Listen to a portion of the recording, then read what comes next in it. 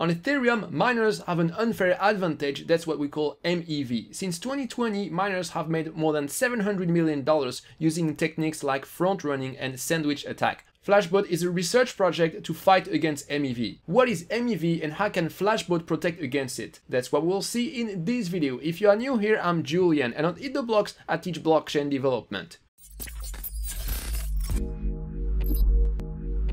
MEV means miner extracted value. It's a flow in Ethereum that allows miners to make money off users. When a transaction is sent to the Ethereum network, it goes into the mempool of each miner. The mempool is an order list of all pending transactions. If a miner sees a transaction that is profitable, like a liquidation or an arbitrage, he can steal the opportunity for himself by sending the same transaction with a higher gas price. That's what we call front running. Another kind of MEV is a sandwich attack, when a miner anticipates a price increase by wrapping a buy order with its own buy and sell order. This allows the miner to benefit from the slippage created by the initial transaction at the expense of the trader. Flashbot comes to our rescue.